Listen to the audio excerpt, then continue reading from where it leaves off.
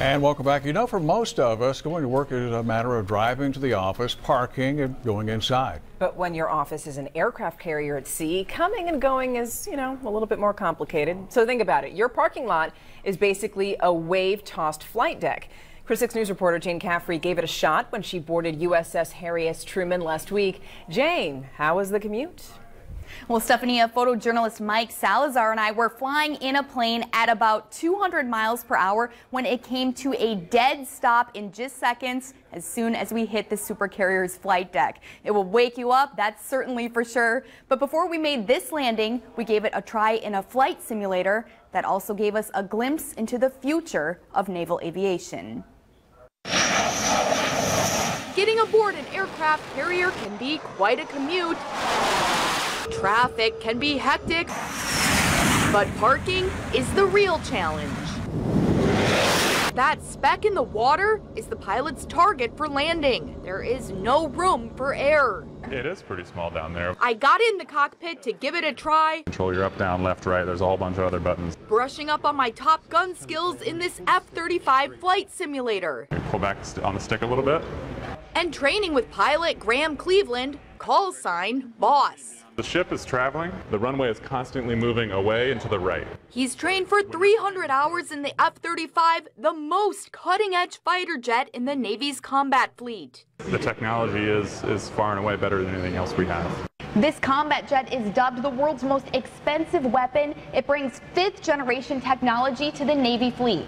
Its astronomical cost, $94 million apiece, makes the F 35 one of the most controversial weapon systems in U.S. history. But it's also considered a cornerstone of U.S. defense.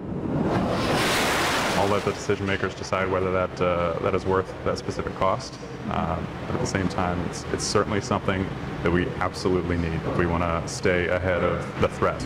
It really is the, the way of the future. But can I handle the jet's futuristic technology? After splashing a few bogeys in the simulator, it was time to land on an aircraft carrier. We're coming in hot. A little bit up. Oh! Uh, did we land? Yeah, you did. All right. I mean, I don't know that they're going to let you do it again, though. I'm not sure. But I wanted a shot at the real thing. So my wingman, photographer Mike Salazar, and I put on our vests and helmets and boarded this plane called the COD. It's how people and cargo get on and off aircraft carriers at sea. We strapped in tight, and after a two-hour flight from Virginia to the coast of Florida, we made our landing on a super carrier. Here we go, here we go, here we go. That's what it looks like when you go from hundreds of miles an hour to zero in just seconds. And so a little wobbly, we say goodbye to simulators and civilian life and prepare for 24 hours aboard one of the world's most powerful nuclear supercarriers.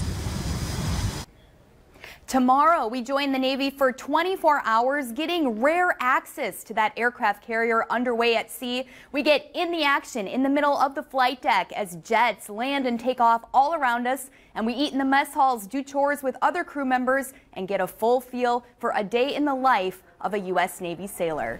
Jane Caffrey, KRIS 6 News. Lee. All right, thank you very much, Jane. Well, this is